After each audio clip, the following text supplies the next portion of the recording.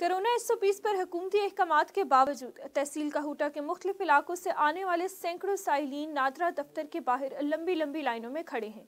हुकूमती इदारे के बाहर हुकूमती एस ओ पीज़ की धज्जियाँ उड़ा दी गई। दूसरी तरफ़ नादरा ऑफ़िस इंतजामिया भी कोरोना एस ओ पीज़ पर अमल दरामद कराने में मुकम्मल तौर पर नाकाम दिखाई दे रही है। इस पर बात करते हैं, कहूटा में मौजूद चैनल फिफ्टी वन के नुमाइंदे राजा साजिद जंजुआ से। Ji Sajid, corona S O Ps की धज्जियाँ, ये क्या हो रहा है? सरकारी दफ्तर के सामने।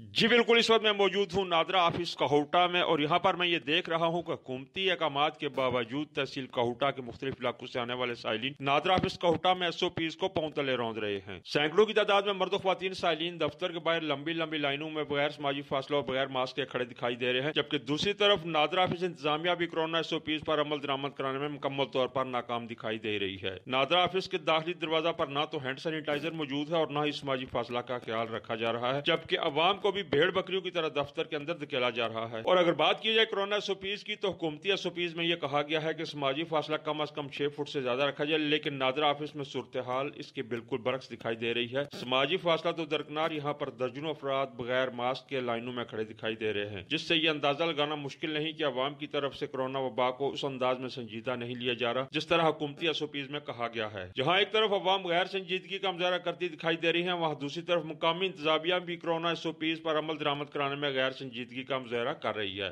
जी। बहुत शुक्रिया साजिद हमें तफसील से आगाह करने के लिए। मजीद ताज़ा तरीन खबरों और अपडेट्स के लिए देखते रहिए हमारा फेसबुक पेज और यूट्यूब चैनल। इजाज़त दीजिए। अल्लाह ने के बाद।